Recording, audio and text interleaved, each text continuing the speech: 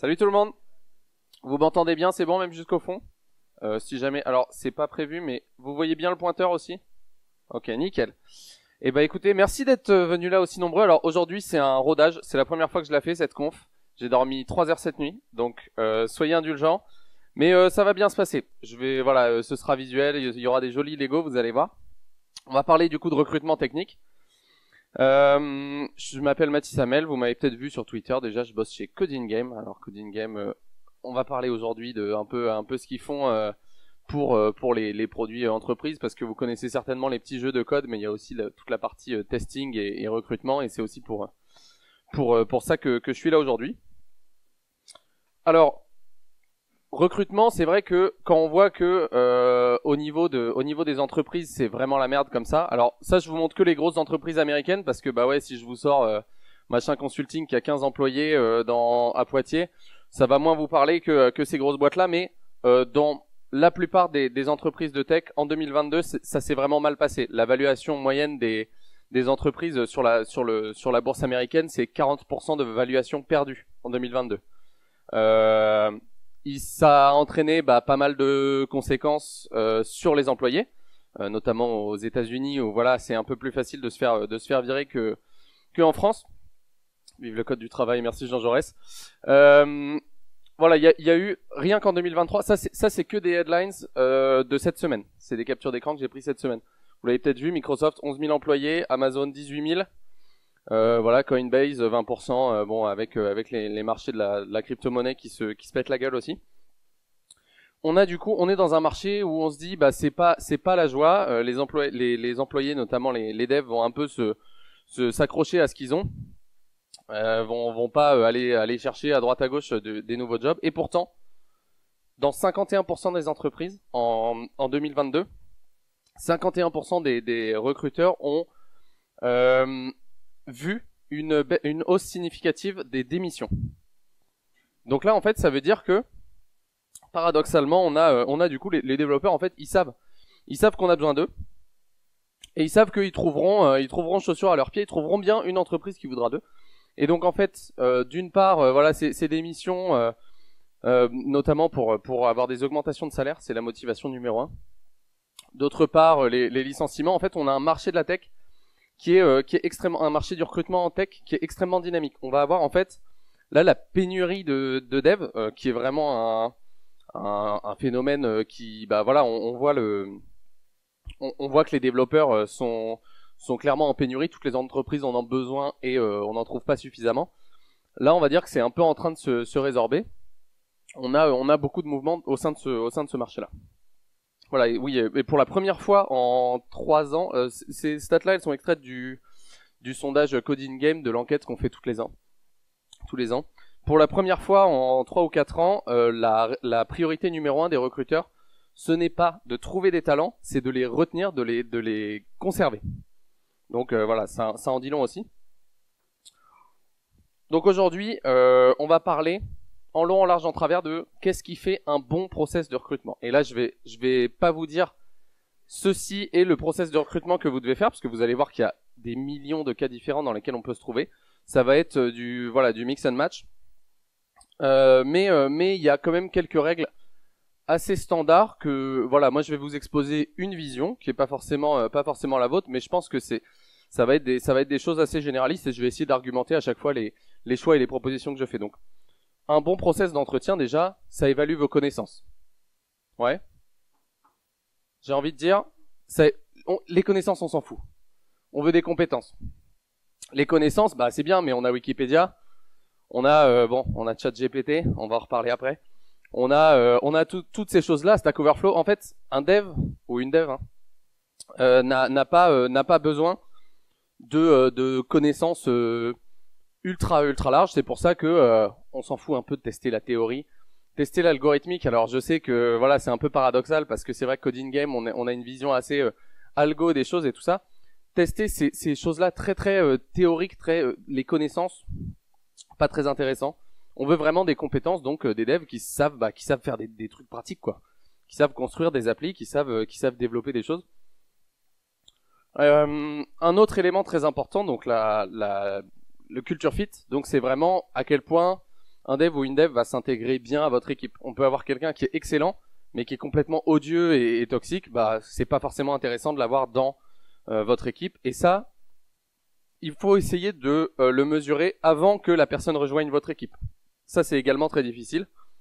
Euh, donner une bonne expérience candidat, bah voilà, c'est ce que je vous disais. Hein, les, les devs savent que qu'ils vont trouver une boîte qui voudra bien d'eux. Et euh, bah voilà, on a on a le choix en tant que dev. Hein. On est euh, on va choisir la boîte qui se qui s'occupe le mieux de nous et ça passe notamment par par le processus de recrutement.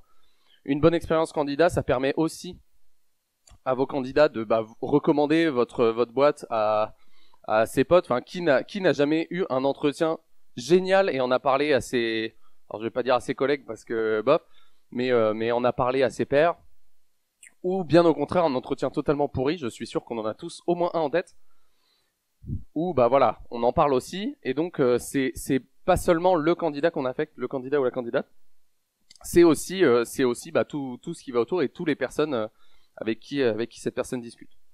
On veut aussi quelque chose qui soit fiable, c'est-à-dire que bah, une personne qui une, je sais pas comment comment décrire ça, un, un, un procédé qui est statistiquement reproductible. Euh, donc voilà, une, une, personne qui se débrouille bien à l'entretien une fois, euh, elle est censée se débrouiller bien à peu près tout le temps. Et pareil, une personne qui est pas retenue euh, par ce processus-là, elle va pas, euh, voilà, ça va être ça va être un, procédé qui va être fiable.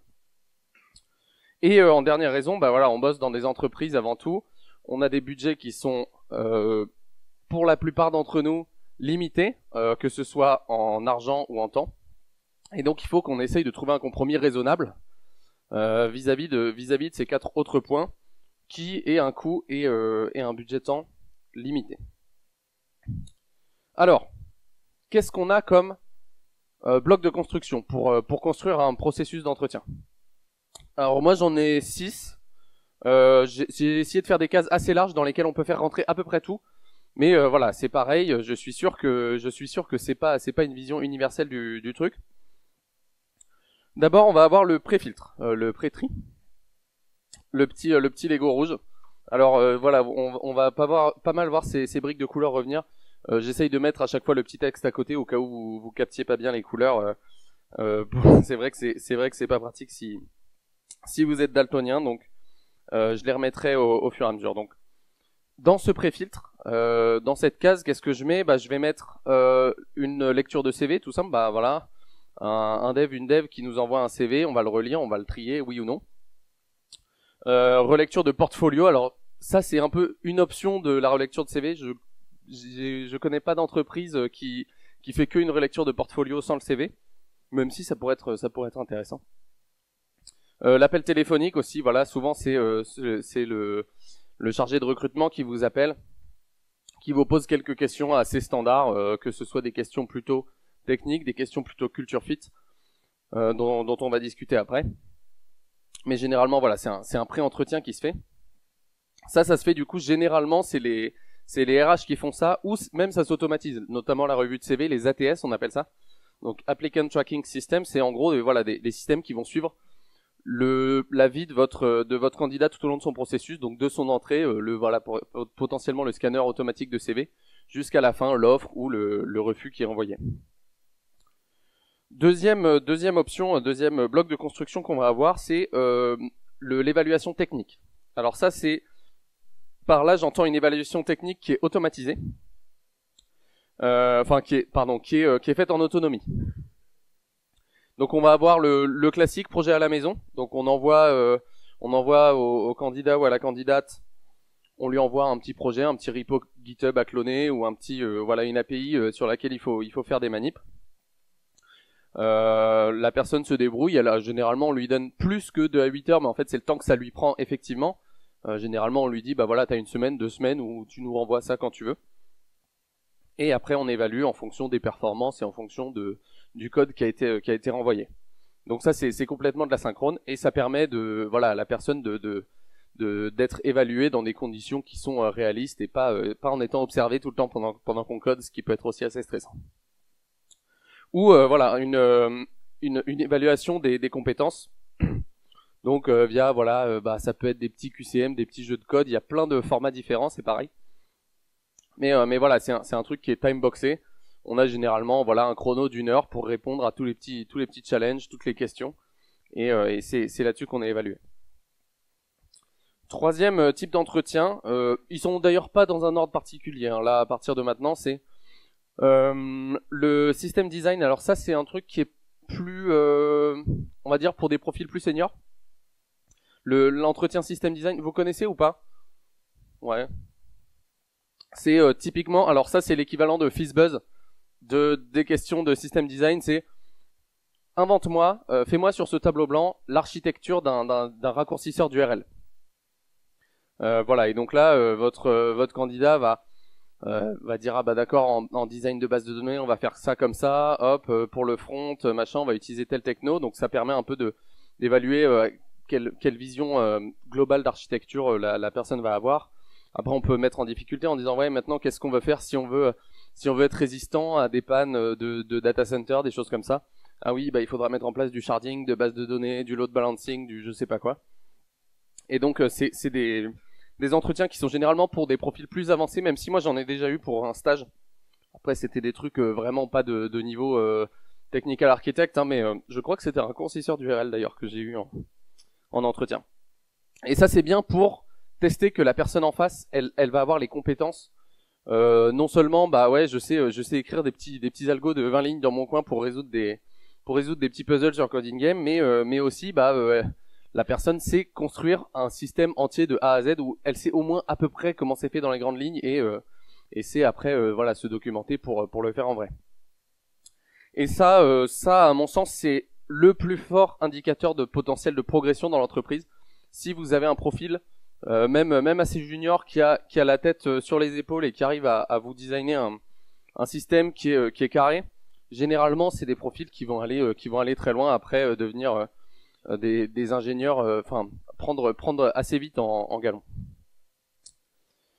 Euh, ensuite, alors la, petite brique jaune que je considère la plus essentielle, et je pense que c'est le cas d'un grand nombre d'entre nous pour un processus d'entretien, le live coding. Alors ça va prendre plein de formes différentes. On va pouvoir dire, alors si c'est du distanciel, on dit à notre euh, candidat euh, candidate de partager son écran de nous coder un petit truc, on lui pose une question euh, en direct. Euh, si c'est du, du présentiel, on peut avoir euh, un ordinateur portable qu'on apporte et voilà, la personne doit coder dessus. Un IDE en ligne, on peut avoir alors la très classique entretien, euh, le très classique entretien tableau blanc. On en reparlera aussi un peu plus tard et pourquoi voilà, c'est bien mais c'est pas super bien en fait. Google d'ailleurs depuis depuis qu'ils font des entretiens en remote aussi, bah, les entretiens tableau blanc c'est pratique, mais euh, quand on a un tableau blanc, ils font du coup, ils vous font coder dans un Google Doc, et c'est euh, assez euh, assez crade, mais euh, bah, ça marche. Enfin c'est le, le principe qu'ils veulent, c'est de vous faire coder sans avoir euh, sans avoir rien pour vous appuyer, euh, et, c'est assez déstabilisant. Et donc euh, donc effectivement, bah, Google Docs, on peut pas run de code dedans, donc euh, donc c'est leur leur solution maison.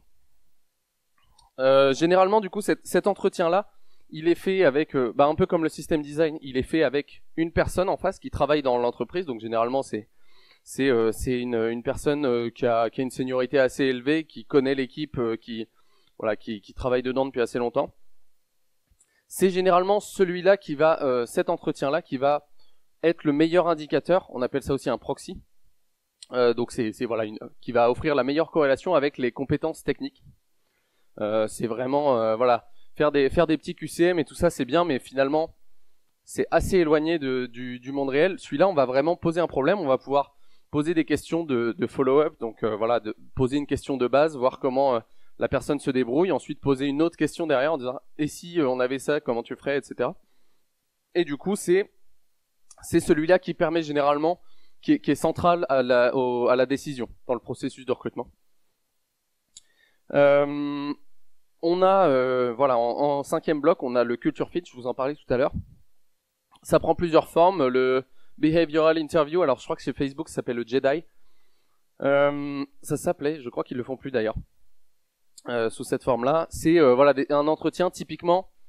On vous dit, parle-moi d'une fois où t'as été en désaccord fort avec le, le reste de ton équipe.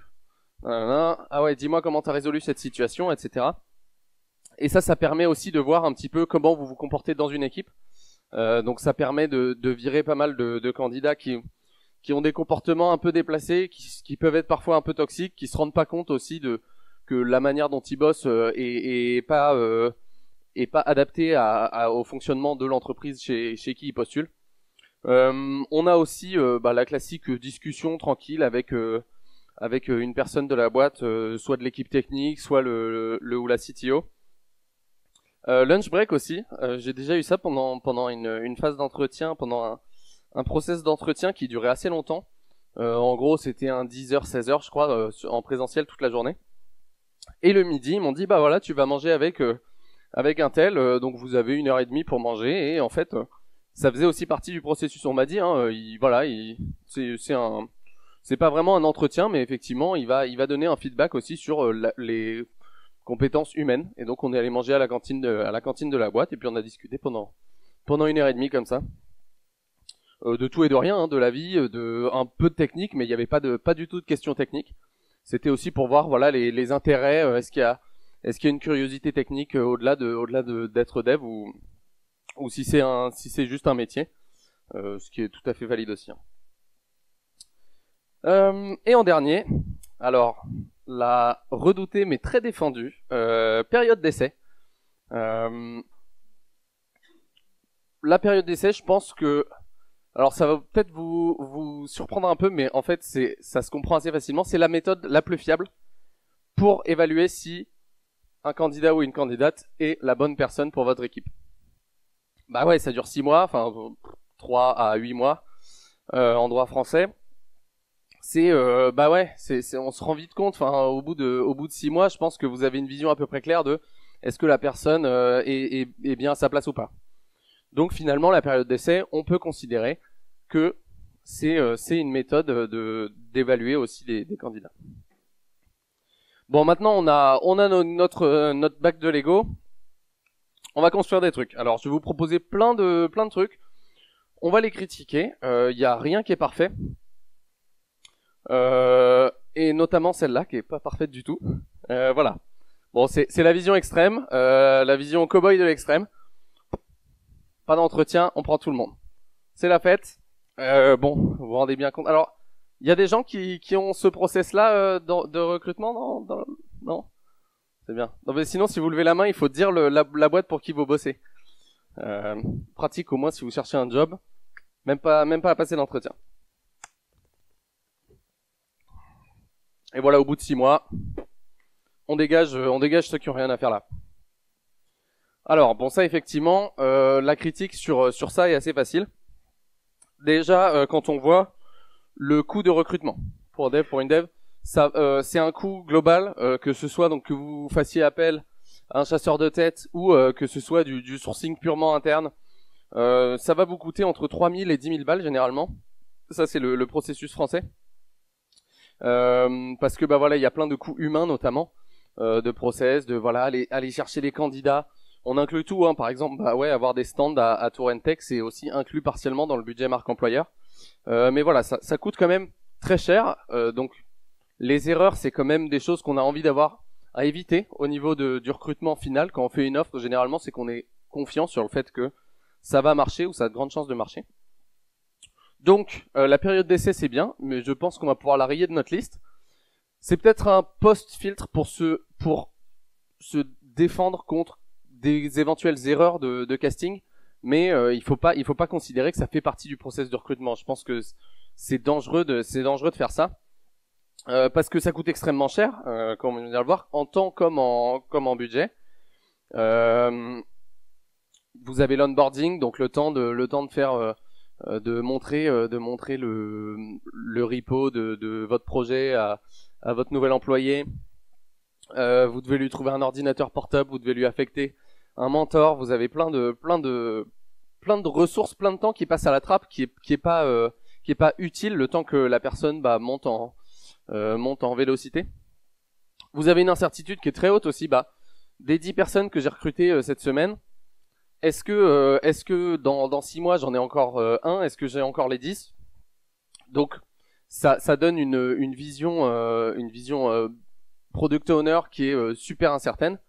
des candidats qui vont aussi démissionner de leur poste, potentiellement déménager pour venir dans votre boîte, et en fait pour qu'au final, six mois plus tard, ils aient une chance sur deux de se faire retoquer. Pareil au niveau au niveau expérience candidat, c'est c'est pas la peine. Donc la, la période d'essai, à mon sens, c'est un, ça ne se défend pas en, composant euh, à part entière du processus de recrutement. Voilà, là, c'est une, option que je trouve beaucoup plus raisonnable, euh, même si même si critiquable, on va en parler. Euh, la startup moyenne, généralement ça ressemble à ça. Alors peut-être que vous avez d'autres choses et euh, parlons-en. Mais euh, voilà, moi de, de, ce que je connais, de ce que de ce dont j'ai fait l'expérience et au fur et à mesure des discussions avec des personnes aussi qui qui étaient dans ces mondes-là. Euh, on commence généralement, voilà, c'est interview avec euh, avec le le ou la CTO.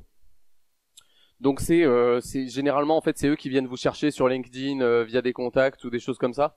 généralement une une startup, on va pas la chercher, c'est elle qui vient vous chercher. On vous donne un petit projet à la maison, on vous fait, passer quelques questions un peu théoriques, où on vous fait, on vous fait programmer en direct en, partageant votre écran sur sur des questions d'algo un peu un peu simples. Voilà, bon ça c'est ça c'est assez variable, mais ça ressemble toujours à peu près à ça.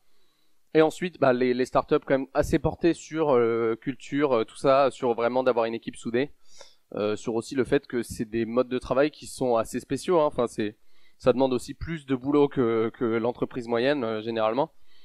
Donc euh, tout, ça c'est le, processus moyen de startup que je trouve euh, très bien. à mon avis, il remplit tous les critères. Donc je vous remets une, une vieille slide. Il remplit tous ces critères là. Ça évalue bien les compétences. Bah ouais, on a quand même deux entretiens euh, où vous devez développer. Donc généralement, en plus, c'est du sur-mesure, c'est fait par par le CTO en personne. Vous allez avoir un, projet qui est, qui est assez carré, on arrive généralement assez bien à évaluer vos, vos compétences. Euh, Culture Fit, c'est pareil, vous avez deux, deux entretiens euh, où c'est vraiment plus de la discussion informelle que du code. Euh, donc vous allez, vous allez avoir ce critère-là qui est bien rempli. L'expérience candidat, bah rien à redire. Euh, alors à moins que, ces, projets-là vous prennent, euh, on vous dit bah c'est un, projet, vous devez implémenter une feature complète sur Elasticsearch euh, voilà, vous avez euh, trois semaines et mettez mettez-y euh, plein temps. Généralement, c'est des c'est process qui se passent quand même assez bien. Euh, pareil, rien à dire sur la fiabilité. Sur le coût et le, le budget temps, on va en reparler. C'est pour les pour les startups généralement sur un petit pool de candidats parce que vraiment c'est c'est du du cherry picking. Hein, donc c'est le généralement voilà le CTO qui va venir vous chercher. Il va pas faire du démarchage comme comme les les chargés de recrutement des ESN qui euh, ont tendance à un petit peu plus mitrailler sur LinkedIn. Euh, voilà, donc à mon sens, c'est un, un, process qui est grosso modo euh, parfait dans la plupart des cas. Mais on va voir que en fait, dans la plupart des cas, si vous avez justement ce pool de candidats qui est pas pas si grand que ça, parce que si on regarde, ça c'est le temps que ça vous prend en temps humain, juste le temps brut des entretiens bah voilà, une heure de discussion euh, CTO, euh, la review du, du projet euh, à la maison. Alors pour le, candidat, ça va prendre dix fois plus de temps, mais pour vous, c'est à peu près une demi-heure de lecture. Le live coding, deux entretiens, deux heures, plus le, temps de faire le feedback. Culture Fit, c'est pareil, pour peu qu'on rencontre deux personnes dans la boîte. Tout ça, ça nous fait 4h30 de process pour chaque candidature. Ça passe pas à l'échelle. Euh, si vous avez un pool, vous avez pour, pour un poste, vous avez 50 candidats qui arrivent euh, pour euh, pour l'échelle de vos de vos 5 personnes, euh, des, des 5 devs qui sont dans votre équipe. Vous passerez pas à l'échelle, ça va vous juste vous monopoliser tout votre temps. Il faut trouver une manière de compresser ce temps-là. Alors voilà, ça prend trop de temps, mais à la fois, je pense qu'on est à peu près tous d'accord pour dire que évaluer quelqu'un en moins de deux heures, pas faisable. Donc en fait, dans le meilleur des cas, dans le meilleur des mondes, on peut réduire le, temps passé par candidat on, peut diviser par deux le temps total qu'on passe pour euh, pour trouver euh, une personne. Ce qui est franchement euh, perfectible. voilà, on va ajouter voilà ce, cette petite brique là, filtre filtre CV. Bah ouais, c'est un truc qu'on n'avait pas fait jusque là parce que généralement en dans, des petites boîtes où on va chercher les candidats manuellement, on n'a pas à faire ça, mais là quand on va commencer à avoir des candidatures spontanées, il va falloir déjà commencer à passer par ça. on se dit voilà, euh, filtre CV, on enlève 80% des candidats. Alors ça, c'est un chiffre assez gros. Généralement, on tourne plutôt autour de 60%. Euh, et donc ce filtre-là, il nous voilà, pas euh, pas top parce que bah il peut, il- on peut passer à côté de certaines choses. On va en, on va en parler juste après. Mais euh, après derrière, on peut mettre le même process. Ce filtre-là, on se dit, ça prend 5 minutes pour une candidature classique. Euh, et ces ces 4h30 là, en fait, bah, on va les diviser par 5 parce que on garde qu'un candidat sur 5. Donc ça nous fait plus que une heure par candidature en moyenne, ce qui est beaucoup plus tenable. Euh, et voilà. Et, là, on sait que les personnes qu'on va rencontrer dans cette étape-là, c'est des personnes. On se dit d'avance, ok, c'est pas, euh, c'est pas une personne avec qui je n'ai pas envie de travailler parce que des fois, bah, euh, voilà, quand on voit qu'on enlève 4 CV sur 5, c'est euh, c'est voilà que les, les, les 4 sur 5 qu'on a enlevés, euh, c'est des profils qui vont qui vont pas du tout rien que sur le papier, sans même passer à, des évals de, de compétences ou de, de culture fit. Alors, c'est un chiffre qui varie pas mal d'entreprise en entreprise, mais euh, une revue de CV standard. euh, alors même on trouve le chiffre de 6 secondes, euh, auquel je ne crois pas à moins que vous utilisiez des, systèmes automatisés, mais euh, ça prend une minute en général de lire un CV et de prendre une décision pour des chargés de recrutement. C'est court. Hein on va jouer un petit jeu. Je vais, vous, je vais vous donner une minute. On va, on va lire un, on va lire un CV ensemble. Euh, on cherche euh, un nouveau, un nouveau dev sur euh, sur la stack suivante Flutter, Java, Elasticsearch. En plus, vous êtes, j'imagine, pour la plupart des devs, donc ça vous aide. Euh, Dites-vous que d'habitude, c'est euh, des chargés de recrutement à qui on file ça, donc c'est des mots qui veulent pas dire grand-chose. Alors la, la blague assez classique du Java, JavaScript, bon, généralement, ils font plus la, ils font plus la confusion. Euh, alléluia, hein, ça faisait, ça faisait quand même un bout de temps que que c'était le cas.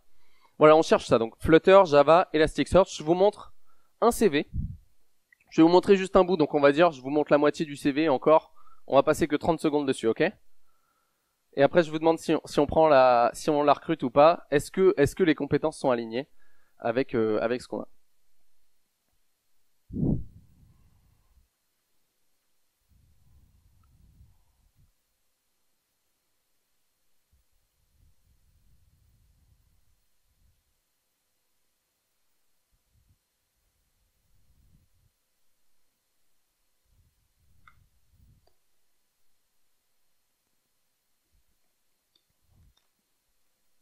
Je devrais mettre les CV de mes potes en fait, comme ça. Euh, là, attendez, le nombre d'yeux que j'ai eu là sur sur un CV pendant pendant une petite minute.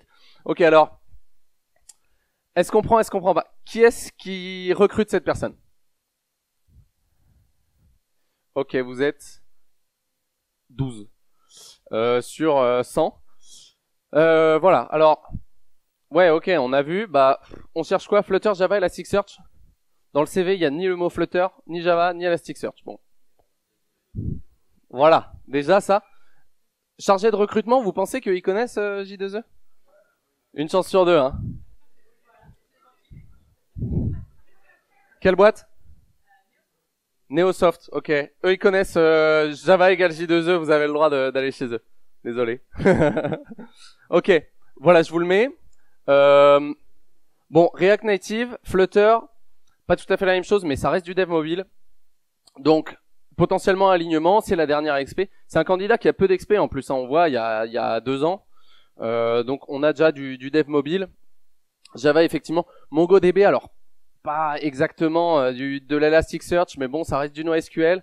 Il y a un peu de ça. Et en fait, euh, voilà, Lucene aussi. Euh, je sais pas si vous connaissez, c'est le moteur, c'est vraiment le, le, le back-end de Elasticsearch. Euh, donc voilà, quelqu'un qui a fait des contribs à Lucene, on cherche de l'Elasticsearch, euh, franchement, il n'y a pas, il a pas mieux. Donc en fait, euh, super facile de euh, passer à côté de mots clés importants, de recruter des imposteurs aussi. Euh, donc voilà, des gens qui vont pas hésiter à mentir sur leur CV pour euh, pour euh, pour espérer que ça passe. Euh, qui vont être d'ailleurs les, les personnes qu'on va chercher en- à éliminer en numéro un dans le dans le process de recrutement, même si c'est euh, généralement ça passe par euh, par des, des entretiens en face à face, euh, parce que bah mentir sur son CV c'est assez facile et ça permet d'aller assez loin.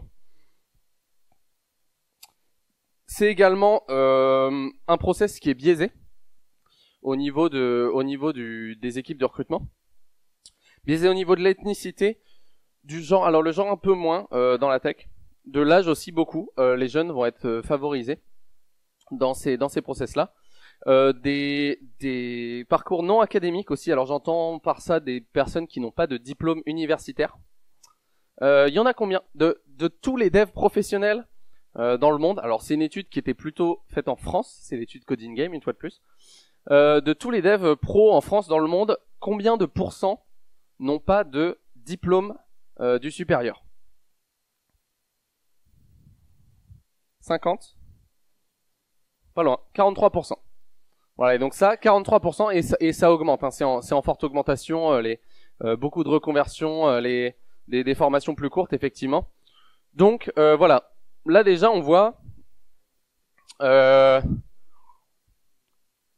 y a, y, a, y a, énormément de, de critères sur lesquels c'est discriminant. Alors là, là je vous donne, je vous dis, ah, c'est discriminant. une étude faite par le ministère du Travail, 2021, ils ont envoyé 9600 CV. Euh, donc des CV générés euh, qui correspondaient à peu près au poste. Euh, ensuite, il, il mettait soit un nom à consonance maghrébine, soit un nom à consonance française dessus. C'est le seul truc qui changeait. Le taux de rappel, donc initial après la candidature, il est une fois et demi plus faible pour les noms à consonance maghrébine. Voilà, c'est pas c'est pas un petit truc, hein, c'est vraiment euh, de 33 à 23% c'est énorme. Juste pour le, le préfiltrage par CV.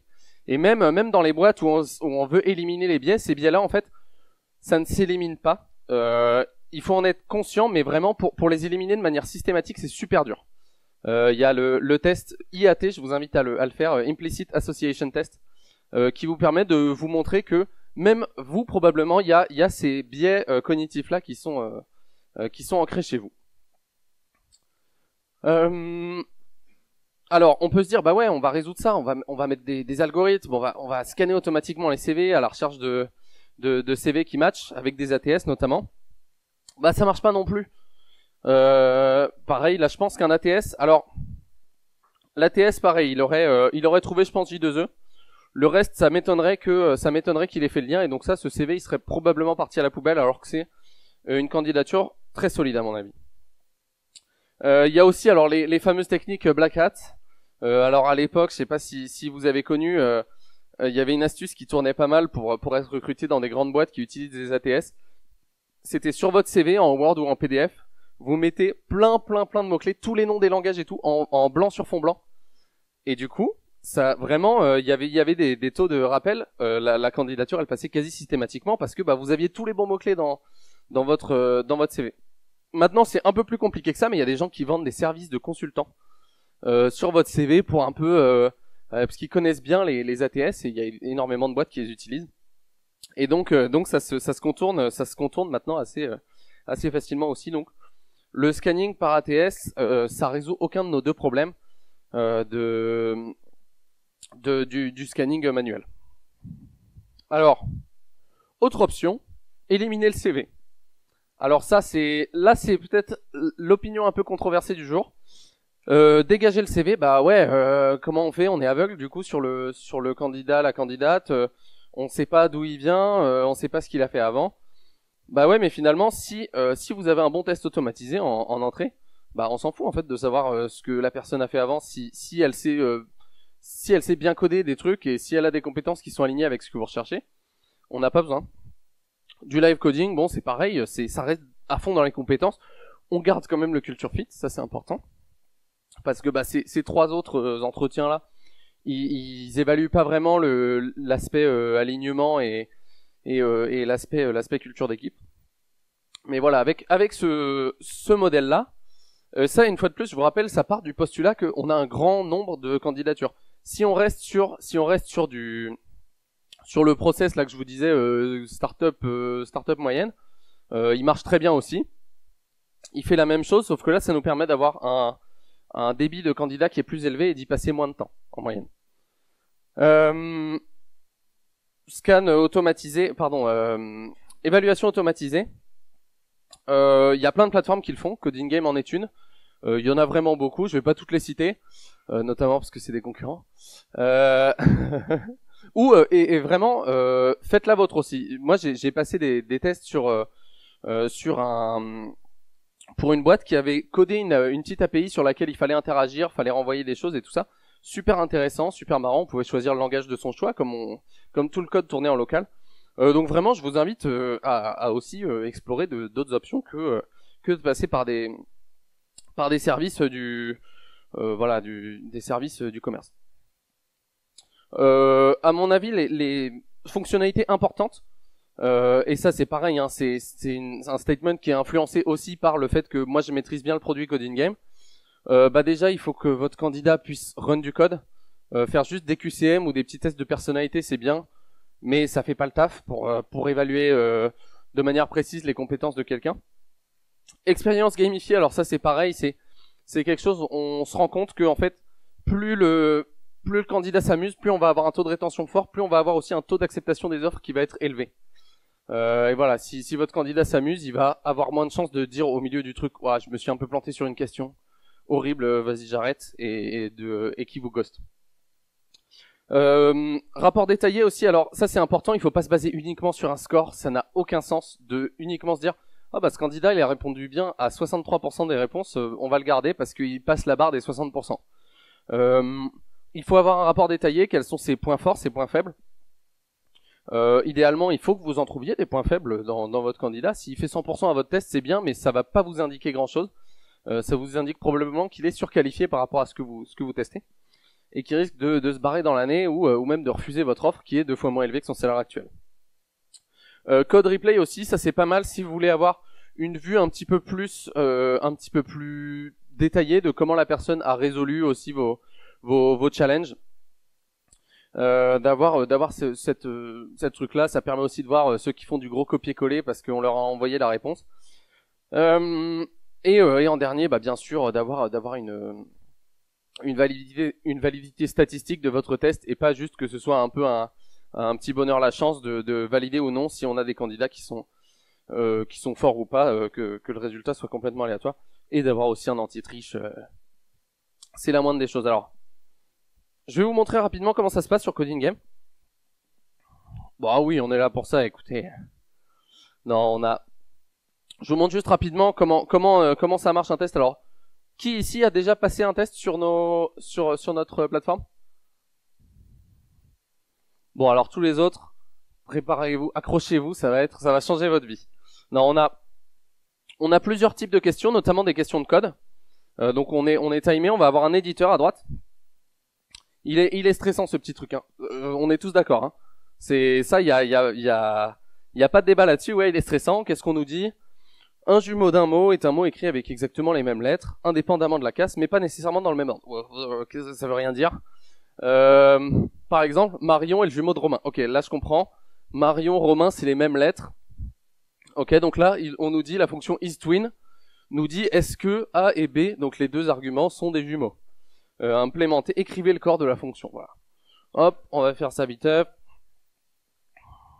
Tac. C'est du Python. Non. Return counter de A égale counter de B. Hop.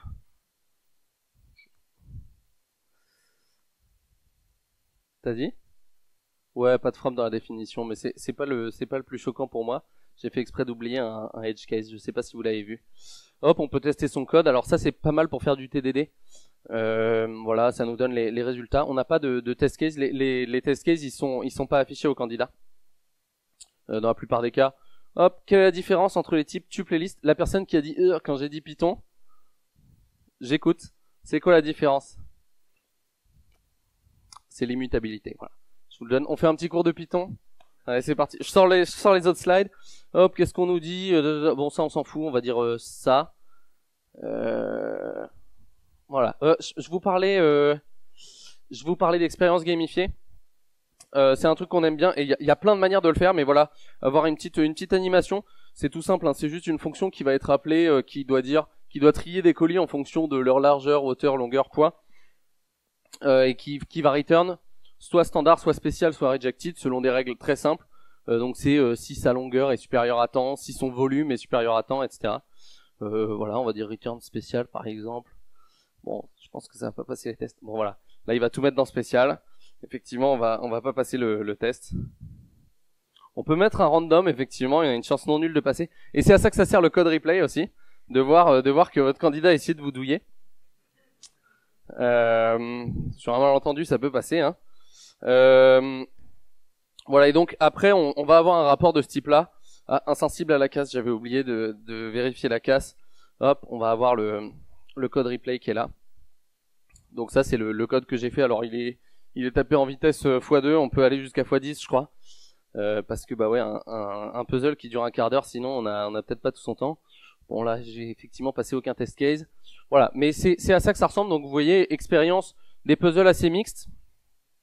On va avoir ensuite côté dashboard recruteur, on va avoir aussi ce, ce truc là qui va nous dire voilà au niveau design, connaissance du langage, résolution de problèmes, etc.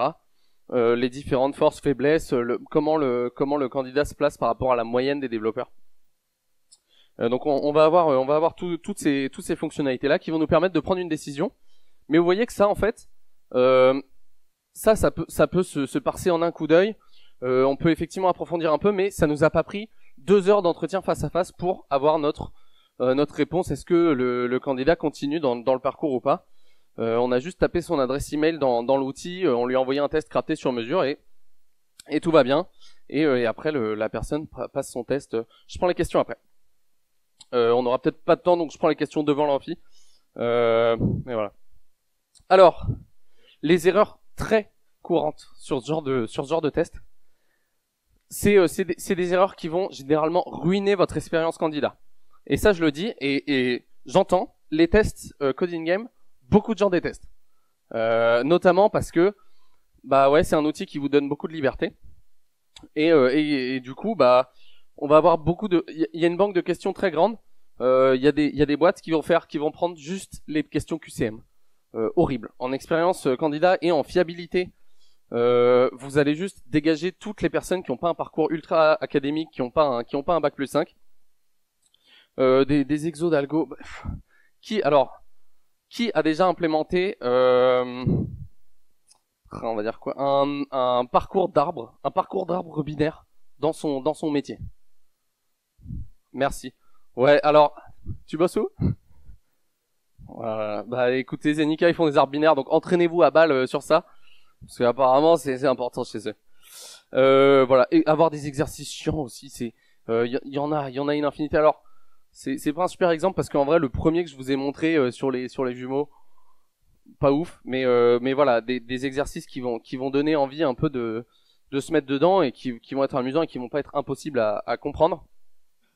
Un test trop long aussi, ça c'est un ça c'est un symptôme classique euh, de, de pré-entretien qui est pas marrant. C'est un truc qui va durer plus d'une heure. Généralement 45 minutes, c'est très très bien. Euh, tester des seniors aussi, c'est ça peut être une erreur.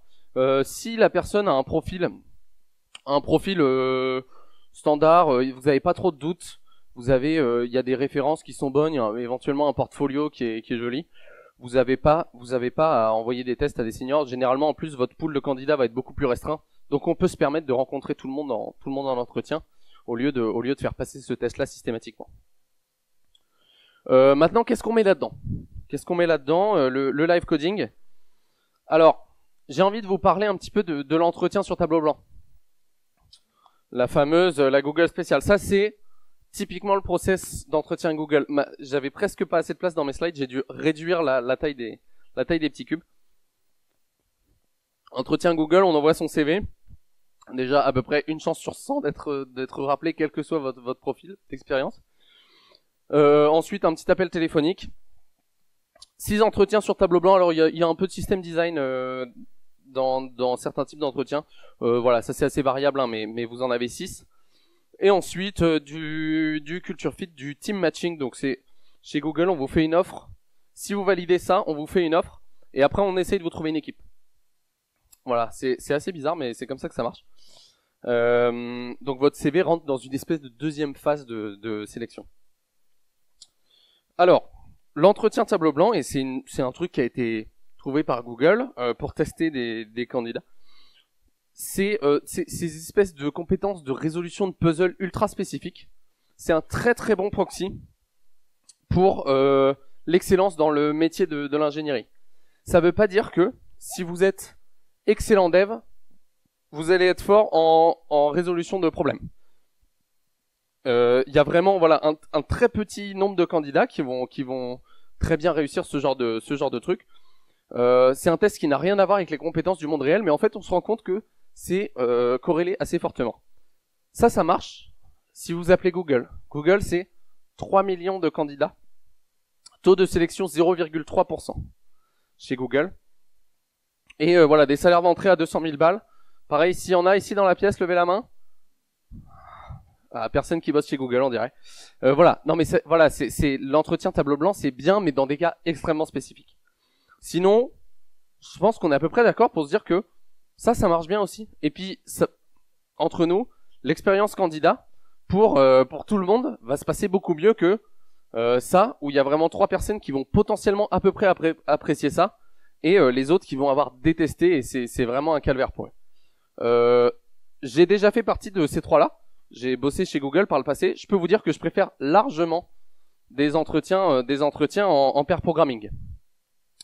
Alors l'entretien en pair programming, euh, voilà, c'est un truc qu'on, je pense qu'on en a tous passé, on en a peut-être euh, pour la plupart fait passer aussi. On prend un problème simple, réaliste. Donc on va prendre par exemple un, un projet open source.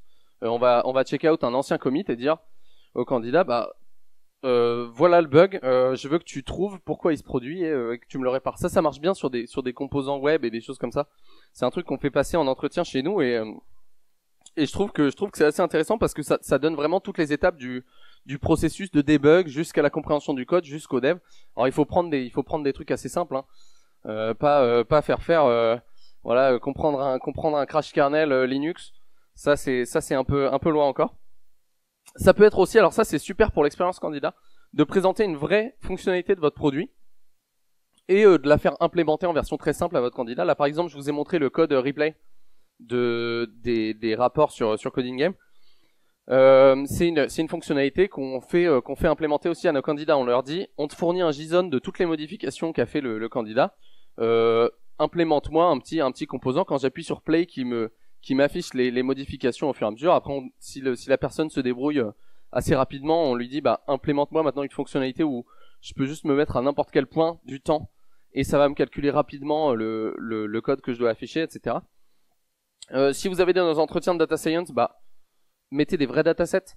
Euh, c'est bête de, faire ça sur des, des datasets qui font 10 lignes et de pas savoir si votre traitement il a marché parce qu'il marche ou parce que juste il est miraculeusement euh, chanceux pour vous donner le, le bon résultat sur les 10 lignes du dataset. Donc voilà, donnez, euh, donnez un truc qui, qui donne un peu à manger, qui met dans, une, dans des conditions réalistes. Euh, pour ça, alors, le partage d'écran, il y a, y a, plein de boîtes qui, sur les entretiens en remote, qui disent bah vas-y, allume ton, allume ton partage d'écran, ouvre Visual Studio Code ou ton IDE préféré, et, et on va, on va faire ce, cet, cet exo là. Si vous voulez un, un, truc réaliste, donc je vous disais, bah voilà, du bug fix.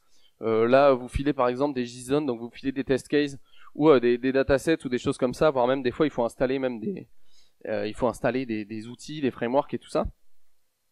Euh, bah vous, vous allez avoir un temps de setup qui est prohibitif. Même au-delà de 5 minutes, en fait, 5 minutes sur un entretien de 45 minutes, ça, ça aurait pu être ce qui vous donne le go ou le no-go. Et en fait, du coup, ça peut, ça, ça met pas vos candidats tous dans les, dans les mêmes conditions. Il y a aussi des personnes euh, qui, qui vont pas, qui vont dire non, bah non, je vais pas partager mon écran, c'est, c'est mon ordi, c'est mon ordi perso ou mon ordi même pro parce que bah ouais, il euh, y en a, il y en a qui ont que, un ordi pro, comme moi. Euh, voilà, on va pas, on va pas, pas faire ça. Donc, euh, pareil, on peut utiliser un, IDE en ligne. Alors, il y a, y a d'autres manières, mais euh, c'est ce genre de, c'est ce genre d'outil. Désolé, le Wi-Fi est un peu en, en galère. Voilà, donc on va avoir un IDE très réaliste. C'est euh, ça, c'est du, c'est le même, euh, c'est le même idée, c'est Monaco, euh, le même que Visual Studio Code dans le dans le navigateur. Vous pouvez avoir votre navigateur ici. Vous avez tous les fichiers. On peut on peut modifier ça un peu un peu à volonté. Et donc c'est à mon sens une la, meilleure option pour les pour les entretiens en, en live coding. Donc pour finir. Euh, voilà, voilà un, un template d'entretien. Pareil, ça s'est adapté comme vous voulez. Euh, c'est des Lego, hein, et j'ai fait exprès. C'est vraiment piocher, enlever ce que vous voulez. Système design, on n'est pas obligé, surtout pour des pour des entretiens un peu juniors. Euh, deux paires programming, on peut en mettre trois, on peut en mettre un. Euh, faites un peu comme vous le sentez. Euh, voilà, mais euh, mais mais ça c'est une, une base assez saine qui va valider les, les cinq conditions qu'on a qu'on a énoncées précédemment et qui va vous permettre de aussi traiter un, un nombre de candidats assez important euh, en, en respectant les autres critères. Alors, juste pour finir, ChatGPT, je vous ai promis qu'on en parlerait. Euh, Est-ce que ça va péter les entretiens? Il y a beaucoup de, il y a beaucoup de gens qui, en- qui en ont un peu peur, bah, surtout dans, dans nos métiers de recrutement et tout ça. L'autocomplétion, quand ça a été inventé, j'étais pas né, euh, ça, ça a pas, ça a pas cassé le, les entretiens. C'était un outil. Stack Overflow, Stack Overflow, bah, c'est pas de la triche, c'est un outil. Si vous laissez accès à vos candidats à Internet, euh, si vous leur dites vous avez le droit à des outils, non plus, ça, ça, ça pas remis en question la validité des, des process d'entretien. GitHub Copilot, exemple plus récent, est-ce que ça a posé des soucis Non plus? Alors, à mon sens, ChatGPT, ça va être dans la lignée de tout ça. C'est un outil, c'est bien, vous avez le droit de laisser à votre candidat le loisir de l'utiliser. Alors si c'est pendant le le test le petit test de compétence, effectivement, il risque de, de passer assez vite. Mais euh, mais un ChatGPT bien utilisé, c'est un outil avant d'être euh, avant d'être un danger pour votre process. Je vous remercie. Alors, on a le temps pour euh, moins de questions, c'est-à-dire j'ai pris deux questions de retard déjà, donc euh, je les je les prends devant l'amphi. Euh, si vous voulez, j'ai euh, deux petits QR codes qui vous donnent. Pour celui-là, vous avez un essai gratuit Coding Game qui dure deux fois plus longtemps, et vous avez la question, la, la, le catalogue de questions complet euh, qu'on qu'on réserve d'habitude à nos vrais clients. Et euh, celui-là pour Coderpad, donc le petit IDE que je vous ai montré, qui fait aussi partie du groupe Coding Game. Euh, avec ce, ce QR code là, vous avez deux sessions IDE, donc deux entretiens gratuits par mois à vie. Voilà. Je vous remercie.